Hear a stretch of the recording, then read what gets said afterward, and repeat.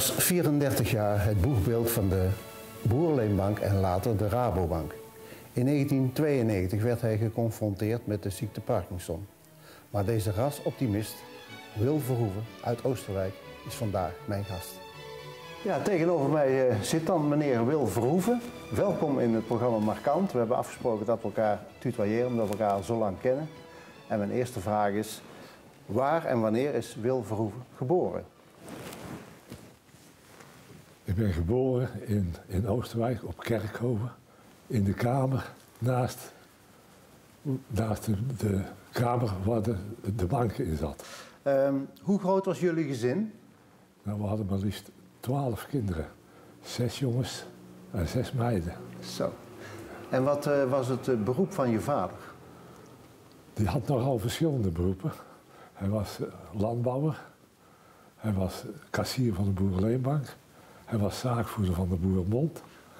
Hij was geruime tijd eh, met de eiervereniging had hij te maken. Dus het inleveren van... Dus, eh, en hij was gemeenteraadslid. En hij was wethouder.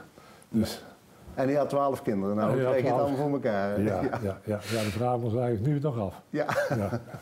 Wanneer eh, en waar ging je naar school? Ik ben in 1938 naar de eerste klas gegaan van de nieuwe Sint-Jozefschool. Ehm, je hebt in, in, in, in de jaren 40, ik heb er wat over gelezen, was het een moeilijke tijd, hè? Toen, Ja, eh, ja dat, was, eh, dat was een ramp. Een ramp, ja. Dat was een ramp. Toen is mijn moeder overleden.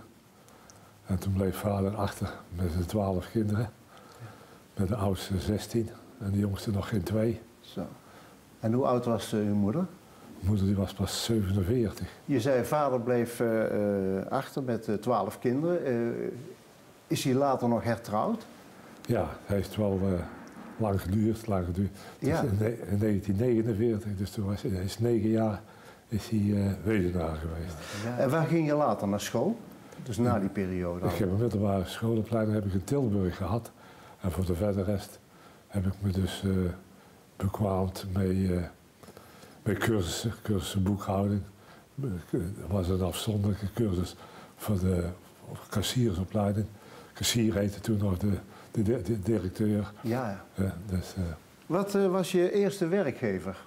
de eerste werkgever dat was de bedrijfsvereniging voor het agrarisch bedrijf. Ja. Dus ook weer in de, in de, ja, in de agrarische sfeer. In, Ja. ja. Ik werd per 1 januari, ah, nee, per 1 november 58 werd ik benoemd als kassier van de Boerenleenbank. Ja, ja.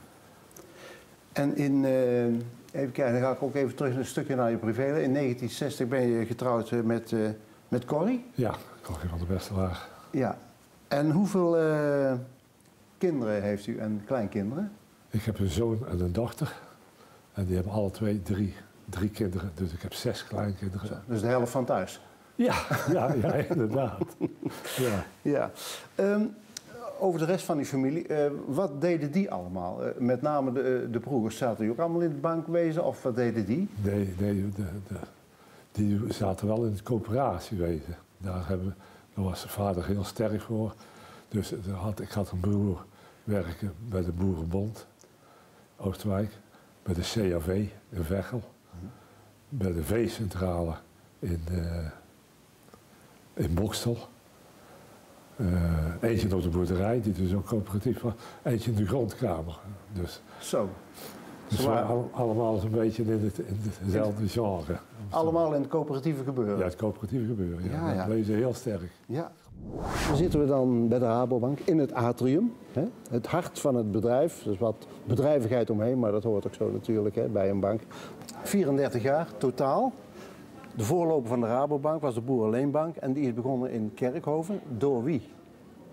Nou, de, bank op zich, de, de Boerenleenbank toen, die is mede opgericht door mijn opa. Dat was Cornelis Verhoeven. Dus eh, En dat is ongeveer 100 jaar geleden. ja, dat is ruim 100 jaar geleden. En daarna was, eh, was je vader eh, kassier. Ja, die werd, die werd meteen dus als kassier benoemd. En heeft hij 40 jaar tot november 58 is hij dus kassier geweest. En toen? En toen, toen, kwam de, toen werd ik benoemd. Ook als kassier. Maar hoe ging dat dan? Kwamen dan de mensen aan huis? Want er was nog geen bank officieel, denk ik. Nee, nee, de bank die werd bij ons thuis in de voorkamer. Dat was het, het zogenaamde kantoor. Daar stond een, stond een kluis met een kastje. En daar zat heel het bankgebeuren zat erin. Op een gegeven moment zijn we zittingen gaan houden in de kunstkring. In de Dus- Stationstraat. In de Stationstraat. Het was dus eh, twee, twee voormiddagen in de week, dinsdag en vrijdag geloof ik. Dan ging ik met de, met de bank op mijn fiets. Ja, Bank op een fiets. ja, ik had een fiets mee met, met tassen eraan, dus aan weerszijden. Ja. En daar ging het dagboek in en daar ging het geld in. En eh, ja, dat ik nodig had voor de, voor de klant. De, de geldzuivering die heb ik dan meegemaakt. Die, die als kassier, dus was vader nog. Maar toen kwamen de mensen die kwamen, die kwamen erbij, die dus eh, flink, flink eh, van omvang waren vanwege het geld dat er, dat er was.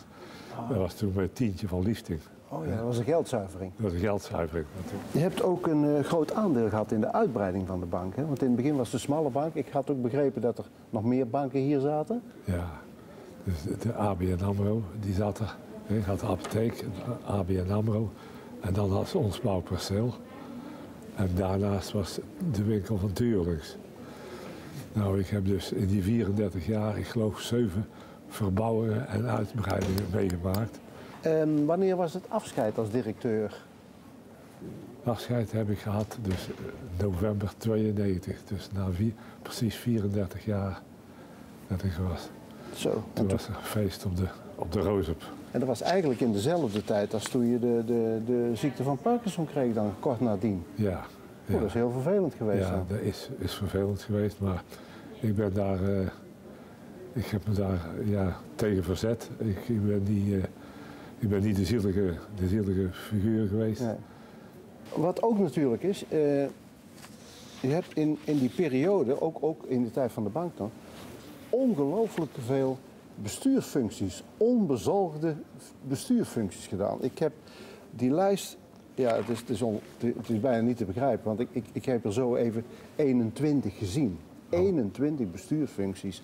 Hoofdzakelijk penningmeester, maar dat is duidelijk natuurlijk Ja, hè, voor een bankdirecteur. Hè? Ja, ja, Maar daar zit bijvoorbeeld bij eh, oprichter van de kringloop. ja.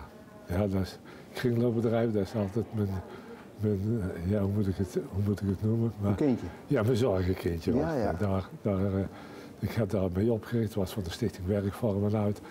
Daar zat mevrouw Ermen, die zat, er, die zat ook in het bestuur.